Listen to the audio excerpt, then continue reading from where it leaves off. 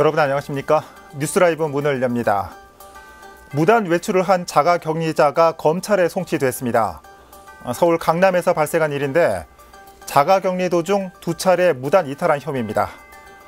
제주 모녀 발언으로 구설서에 오른 강남구가 경찰과 매일 한 번씩 자가 격리 불시 점검에 들어갔습니다. 꼭 단속 때문이 아니더라도 다 같이 조금만 더 힘을 내야 할 시기입니다. 4월 1일 뉴스라이브 지금부터 시작합니다. 오늘의 헤드라인입니다. 서울 아산병원에서 코로나19 확진자가 나왔습니다. 구로구 만민중앙교회에서도 확진자가 늘어나는 등 서울 증가세가 줄지 않고 있습니다. 전현직 의원의 재대결에 성사된 노원갑과 마포갑, 여섯 번째 맞대결 서대문갑 등 리턴 매치가 성사된 선거구를 살펴봅니다. 삼성동과 대치동, 도곡동 등 보수 강남벨트 중심인 강남병에는 40대 청년 후보와 40년 경륜의 후보가 맞붙었습니다. 오래된 정치 구도를 타파하겠다며 출사표를 던진 서대문갑 젊은 후보들과 양당 경쟁 구도가 전망되는 서대문 을선거구를 총선 상황실에서 짚어봅니다.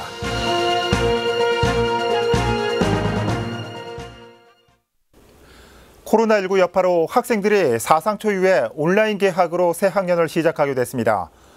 또한 의정부 성모병원 등 집단 감염 사례로 다소 감소세를 보이던 신규 확진자 수도 다시 늘어나고 있습니다. 취재 기자 연결해 봅니다. 이승준 기자. 네, 보도국입니다. 네, 어제 교육부가 온라인 개학을 발표했죠. 네, 이윤혜 교육부 장관이 바로 어제 브리핑을 열고 신학기 개학 방안을 발표했습니다. 네. 고등학교 3학년과 중학교 3학년은 4월 9일에 온라인 개학하고 초등학생을 포함한 나머지 학년은 4월 16일과 20일에 순차적으로 원격 수업을 시작합니다. 유치원과 어린이집은 원격 수업이 어렵다고 판단해 휴업을 무기한 연장하기로 결정했습니다. 학교들은 오늘부터 1, 2주 동안 온라인 수업을 준비해야 하는데요. 처음 있는 일이다 보니 짧은 시간 내로 준비하기가 쉽진 않아 보입니다. 예. 어, 수능도 2주 연기됐다고 들었는데 이 사상 첫 온라인 개학을 결정한 만큼 이 혼란이 없도록 지원 대책도 뒤따라할 것 같습니다. 자, 끝으로 오늘 국내 코로나19 현황 알려주시죠.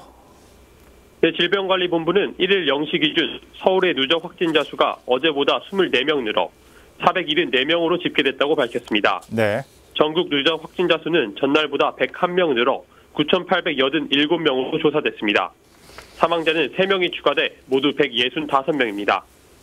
의정부 성모병원과 구로 만민중앙교회 등 최근 발생한 산발적인 집단 감염의 여파로 어제에 이어 오늘도 신규 확진자 수가 100명을 넘어섰는데요.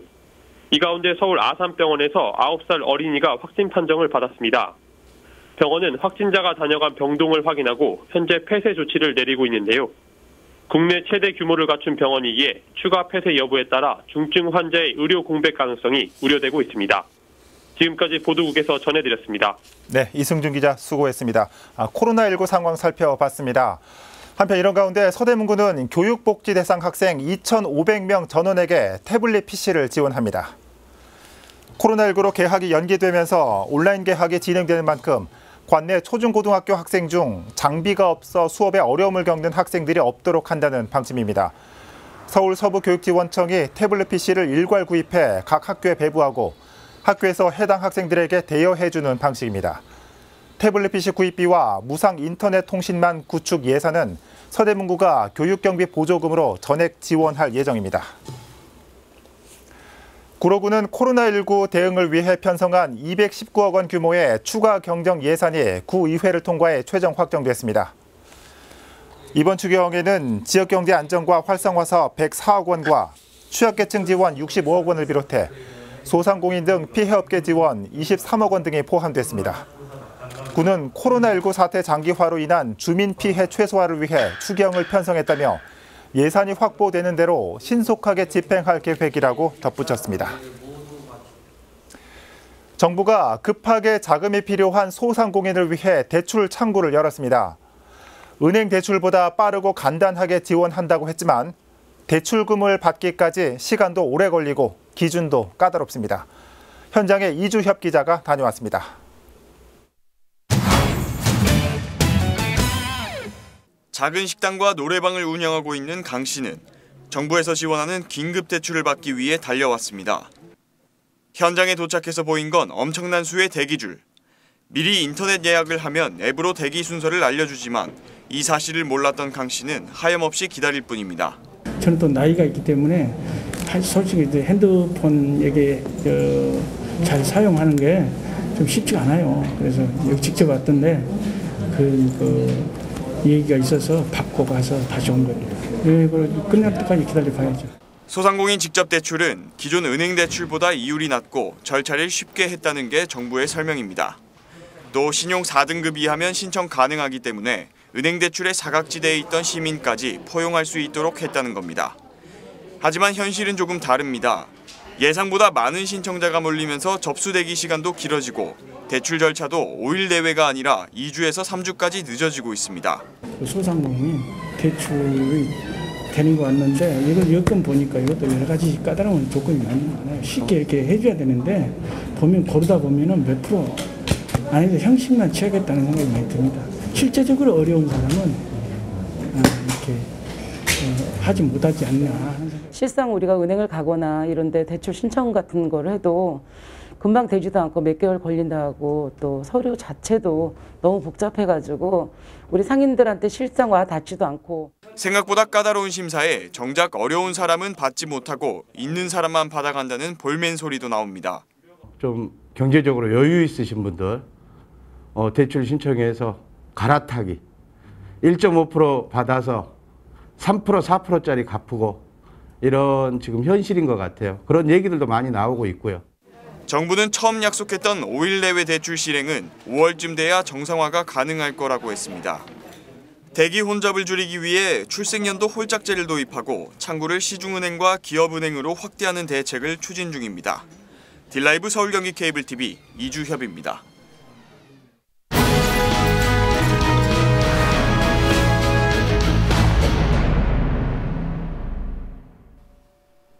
딜라이브 21대 총선 상황실 오늘은 서대문구입니다. 지난주 후보 등록이 끝나면서 총선 대진표가 마무리됐습니다. 우상호, 이성건 후보의 여섯 번째 맞대결로 관심이 큰 서대문 갑선거구에는 뒤늦게 후보 출마가 이어지면서 후보가 크게 늘었습니다. 취재 기자와 함께 살펴보겠습니다. 자, 이혜진 기자. 아, 먼저 서대문 갑부터 살펴보죠. 최종적으로 몇 명이 후보 등록을 마쳤습니까? 네, 먼저 지난주 후보 등록 결과를 마친 결과 갑선거구 출마자는 모두 6명입니다. 네. 이곳은 우상호, 이성원 후보의 여섯 번째 리턴 매치 확정 소식으로 주목받은 선거구인데요. 20년째 이어진 라이벌 구도를 깨고 새로운 인물로 승부를 보겠다며 도전장을 내민 후보가 모두 4명입니다. 이중 3명은 30대로 젊은 정치인들의 도전이 눈에 띕니다. 네, 무소속 후보까지 나서서 도전 장을 내밀었죠. 자, 후보자들의 몇 년 살펴볼까요? 네, 먼저 우리공화당 신민호 후보입니다. 네. 대전대학교를 졸업했고 현재 우리공화당 대변인을 맡고 있습니다. 다음은 민중당 전진희 후보입니다. 서울여대 총학생회장 출신으로 민중당 서대문구 위원회 부위원장을 맡고 있습니다. 두 사람 모두 1986년생입니다. 다음은 국가혁명 배당금당 고상일 후보입니다. 그리스도 대학을 졸업했고 현재 서대문갑 당협위원장을 맡고 있습니다. 마지막으로 무소속 신지혜 후보입니다. 1990년생으로 2년 전 지방선거 때 녹색당 후보로 서울시장에 출마해 4위를 기록한 이력이 있습니다. 네, 이 젊은 후보들이 눈에 띕니다. 아, 오래된 정치 구도를 깨겠다 이런 취지는 좋은데 이 우상호, 이성원의 높은 벽을 어떻게 넘을지 좀 관심이 모아지는데 자 이들이 이 서대문 갑 선거구를 선택한 이유는 뭡니까? 네, 이들을 두고 무모한 도전으로 바라보는 시각도 있습니다. 네. 이곳은 20년째 거대 양당 구도로 선거가 치러져 왔기 때문인데요. 하지만 또 일각에선 20년째 같은 후보가 맞붙는 것을 두고 피로도를 호소하기도 합니다. 서대문구에 새로운 인물이 이렇게 없냐 이런 이야기인데요. 네. 또 서대문 갑선거구는 민심의 풍향계라 불리는 대표적인 수행부터 지역입니다. 이곳에 신촌과 이대가 자리 잡고 있는데요. 특정 정당을 지지하지 않고 당시의 상황에 따라 표를 던지는 젊은 층 유권자가 많다는 이야기입니다. 이런 특성을 감안해 서대문 갑선거구에 새로운 인물, 또 새로운 정치를 선보이겠다는 것, 이것이 후보자들의 공통된 생각입니다. 네, 어찌 보면 이 다윗과 골리앗의 싸움 같은데 이들의 선전을 기대해 보겠습니다. 자, 계속해서 서대문 을 선거구 살펴볼까요? 네, 이 지역은 갑선거구에 비해서는 후보가 조촐한 편입니다. 네. 일제감지 출사표를 낸 민주당 김영우 후보와 통합당 송주범 후보, 또 이와 함께 국가혁명 배당금당 오수청 후보까지 모두 3명입니다. 네. 오수청 후보는 연세대학교를 졸업했고 현재 수학학원을 운영하고 있는 것으로 알렸습니다. 네, 아무래도 양당 구도로 이 선거가 치러질 것 같은데 이 김영우, 송주범 두 후보 모두 이 서대문구에서 오랜 어, 지역 활동을 해오지 않았습니까? 자, 이들의 대표 공약은 뭔지 궁금합니다. 네, 홍은동과 홍제동을 포함하고 있는 이 서대문 을 지역은 주거지가 넓은 지역인데요. 노후됐다는 평가를 받고 있는 이곳의 가장 큰 수건 사업은 지하철 유치입니다. 25개 구청 중에서 지하철역이 없는 유일한 곳이 서대문 구청이기도 합니다. 네. 때문에 을선거구에 출사표를 던진 후보들은 앞다투어 강북 횡단선과 서부 경전철의 조기 착공을 약속하고 있습니다. 민주당 김영호 후보는 4년 전 서대문 지하철 8km 조성 공약을 내세웠고 또 그 결과 강북 횡단선 사업을 현실화시켰다며 재선에 성공해 사업을 마무리하겠다는 입장입니다.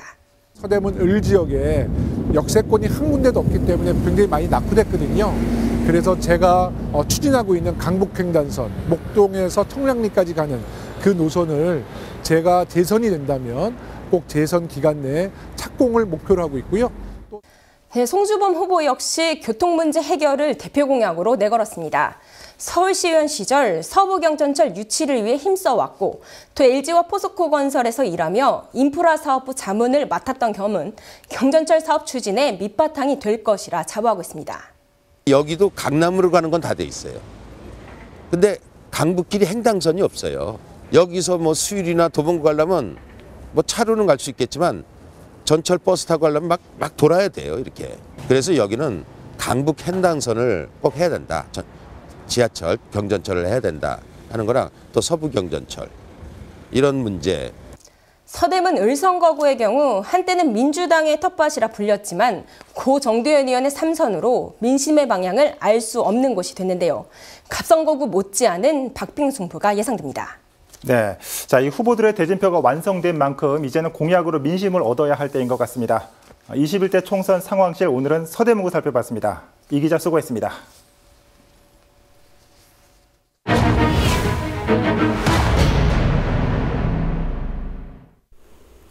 4.15 총선이 2주 앞으로 다가온 가운데 지난 총선에 이어 재대결을 앞둔 격전지 후보들의 마음은 더욱 바빠지고 있습니다. 서울 주요 리턴 매치 지역 후보들의 출마의 변을 박선화 기자가 정리했습니다. 노원병에선 지역 일꾼과 젊은 정치인이 재차 맞붙습니다. 더불어민주당 김성환 후보는 정치 경험과 안정감이, 미래통합당 이준석 후보는 패기와 신선함이 강점으로 꼽힙니다. 청사진을 어, 잘 그릴 수 있도록 어, 하겠다는 마음으로 재선에 도전합니다. 이번엔 제1야당의 후보로 나왔기 때문에 뭐 아주 좋은 승부를 할 수 있을 것으로 기대됩니다. 노원 갑에선 전현직 의원 간 재대결이 성사됐습니다. 민주당 고용진 후보는 집권 여당 출신의 재선 의원이 필요하다고 말했고 통합당 이노근 후보는 지역 발전을 이끌 적임자는 자신이라고 밝혔습니다. 집권 여당의 재선이라는 것은 어, 상당한 의미가 있다 이렇게 보고요. 아니 국회의원이 됐으면 일해야죠. 일해서 주민들한테 혜택이 돌아가도록 해야 됩니다. 서대문갑에선 강산이 두 번 바뀔 만한 세월 동안 라이벌 관계를 맺고 있는 우상호, 이성헌 후보가 다시 만났습니다. 두 후보 모두 이번에는 질긴 총선 악연에 마침표를 찍겠다는 각오입니다. 지면 서운하고 또 이겨도 미안, 이기면 미안하고 그런 관계입니다. 상대가 우의원 쪽에서 8년 동안 이렇게 일을 하고 있지만 서대문의 가치가 점점점 떨어져 가고 있습니다. 마포갑에서도 전현직 의원 간 기세 다툼이 치열합니다. 민주당 노웅래 후보는 재선이 된다면 한류 공연관광 컴플렉스 등 추진 중인 사업을 마무리 짓겠다고 밝혔습니다. 통합당 강승규 후보는 공덕시장 개발 등 플랫폼 도시 마포를 완성하겠다고 말했습니다. 한강변의 한류 복합공연장 이거를 건설할 거고요. 우리 마포의 새로운 미래 젖줄이 될 수 있다고 봅니다.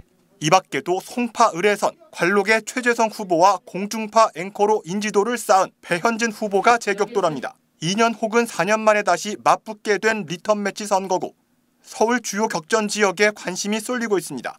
딜라이브 서울 경기 케이블 TV 박 선아입니다. 삼성동과 대치동, 도곡동을 선거구로 하는 강남 병지역은 보수 강남벨트의 중심 지역입니다. 이곳에는 정치 신인들이 맞붙었죠. 더불어민주당에서는 변호사로 활동하고 있는 40대 청년이 미래통합당에서는 이 통계청장을 지낸 40년 경제 전문가가 나서 금배지를 향한 쟁탈전을 펼칩니다. 지역배 기자가 전해드립니다. 일하러 왔습니다. 더불어민주당은 진보의 험지인 강남 병 지역에 김앤장 법률사무소에서 변호사로 활동하는 40대 청년 김한규 후보를 내세웠습니다. 그동안의 어떤 불필요한 정쟁, 소모적인 정쟁을 벗어나서 실제로 일을 할 수 있는 국회의원이다라는 것을 보여드리고 싶습니다. 경제만 40년, 미래통합당에서는 15대 통계청장과 KDI 수석 이코노미스트를 지낸 경제 전문가인 유경준 후보가 출사표를 던졌습니다. 저는 오랫동안 경제 정책을 수립해온 사람으로서 이 정부의 잘못된 경제 정책, 특히 부동산 정책을 바로잡기 위해서 어, 강남 비영 지역의 화두는 재건축과 종부세, 보유세 같은 세금 문제를 포함한 부동산 문제입니다. 민주당 김한규 후보는 가장 시급히 해결할 현안으로 부동산 안정화 정책의 개선이 필요하다는 입장입니다. 최소한 1가구 1주택의 종부세 폐지는 물론 지방 균형 발전을 해법으로 제시했습니다.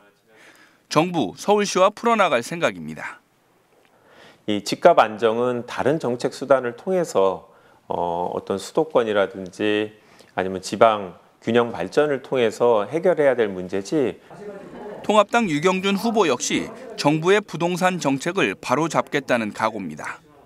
신속한 재건축 추진과 함께 건폐율과 용적률을 늘리고 종상향이 필요하다는 입장입니다. 세금 문제 역시 징벌적이라며 보유세를 인하하겠다고 밝혔습니다. 부자에 대한 징벌적 조항으로 어, 부동산 정책을 하는 게 아니라 잘못된 정책을 하고 있기 때문에 그런 것들은 똑바로 잡아야 된다고 생각합니다. 보수의 벽을 넘기 위해 문을 두드리는 40대 청년 변호사와 보수의 아성을 지키려는 40년 경제 전문가의 맞대결로 강남 병 지역의 벚꽃 대전이 시작됐습니다. 딜라이브 서울 경기 케이블 TV 지역부입니다. 지하철과 개발은 강동구에서 빼놓을 수 없는 과제입니다. 지하철 3개 노선의 연장 사업과 노후 주거지를 개발하는 사업이 계속되고 있기 때문입니다. 이번 총선을 앞둔 강동구 이슈를 정리했습니다. 박영찬 기자입니다. 이번 총선을 앞둔 강동구에선 지하철과 개발이 최대 이슈로 부상할 전망입니다. 새로운 주택 단지와 업무 단지 조성으로 인구 유입이 계속되고 있는 강동구 갑 선거구에선 고덕동과 강일동 일대 9호선 연장 사업이 최대 현안으로 꼽힙니다. 현재 지하철 9호선 연장 사업은 종점인 중앙보훈병원역에서 고덕 강일지구 일대까지 연결하는 것을 목표로 기본 계획을 짜는 작업이 진행되고 있는 상황. 여기에 경기도 하남 미사지구를 연결하는 국가철도망 계획도 추진되고 있어 추가 연장에 대한 기대감도 어느 때보다 높습니다. 현역 국회의원인 더불어민주당 진선미 후보는 9호선을 비롯한 5호선과 8호선 조속 개통을 공약으로 3선 도전에 나섰습니다. 이에 맞서는 미래통합당 이수희 후보도 9호선 연장 사업 추진에 사활을 거는 모습입니다.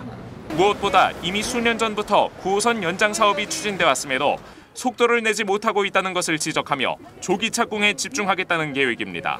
지난 4년 동안 어, 답보 상태였다. 변화가 없었다. 국회의원이 약속한 대로 의지를 갖고 얼마나 그 시간을 단축해 가면서 일이 진척되도록 노력을 했느냐 그 과정을 묻고 있는 거거든요. 그 기간을 최대한 줄이는데 최선을 다하겠습니다. 강동구 을 선거구의 총선 이슈는 균형 발전에 집중됩니다. 천호동과 성내동, 둔촌동 모두 서울 강남과 강북에 맞닿아 있어 강동구의 관문 역할을 해왔음에도 상대적으로 발전 속도가 더뎠기 때문입니다. 노후 주거지가 밀집한 탓에 이용할 수 있는 유휴지가 절대적으로 부족한 것도 난제로 꼽히는 상황. 여기에 토지 분배 문제로 매번 불거지는 주민 간 갈등도 해결해야 할 중요한 과제입니다. 더불어민주당 이해식 후보는 천호역과 둔촌역 등 역세권을 중심으로 재건축과 도시 재생을 축으로 한 개발 전략을 펼칠 전망입니다. 어, 천호 성내 둔촌 지역, 특히 선호, 천호 성내 지역은 어, 도심 지역입니다. 도심을 재활성화하는 어, 그 과제가 가장 중요합니다. 재건축이라든지 재개발 그리고 도시 재생 특히 또 산업 기반을 어떻게 갖추어서 어, 지속 가능한 어, 그런 도시로 만들어가는 것 그것이 가장 중요한 과제라고 생각합니다. 미래통합당 이재용 후보는 정권 교체를 필두로 강동 을 지역을 겨냥한 맞춤형 개발을 추진하겠다는 구상입니다. 강남과 강북 지역에 인접한 지리적 이점을 살려 금융과 부동산을 축으로 발전을 이끌겠다는 계획입니다. 교육, 금융, 부동산 이런 부분에 대해서는 소외돼 왔습니다. 대통령이 있었고 민주당 시장이 있었고 민주당 구청장, 시의원 다 가지고 있었습니다. 그럼에도 불구하고 지금까지 이런 성과를 내지 못했다는 부분은 이제는 우리 국민들이 양보를 하지 않으실 거라고 저는 믿습니다. 지하철과 각종 재개발 사업으로 변화의 기로를 맞고 있는 강동구. 지역 발전에 새로운 전기를 마련할 리더십에 관심이 쏠립니다. 딜라이브 서울 경기 케이블 TV 박영찬입니다. 송파구가 박사방 운영자 조주빈에게 개인정보를 유출한 것으로 알려진 전 사회복무요원 A씨와 관련해 연관된 공무원이 있는지 조사를 검토하고 있다고 밝혔습니다. 송파구는 A씨가 지난해 지역 내 주민센터에 근무하며 공무원 아이디로 주민등록 시스템에 접속해 개인정보를 유출한 것으로 알려진 만큼 수사 결과에 따라 구청 공무원이 가담했는지 조사할 예정입니다. 조주빈은 경찰 조사 결과 A씨로부터 건네받은 박사방 피해자의 개인정보를 피해자 협박에 이용한 것으로 알려졌습니다.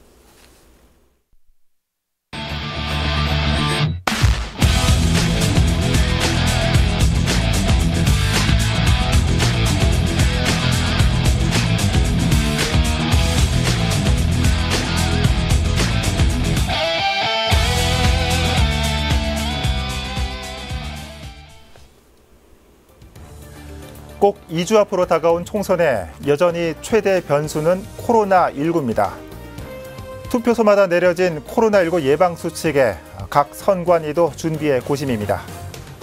정치권도 코로나19가 어떤 영향을 미칠지 셈법이 복잡하겠지만 적어도 국민적 재난인 코로나를 정치적으로 이용하는 움직임은 없어야겠죠. 뉴스라이브 마칩니다. 시청해주셔서 고맙습니다.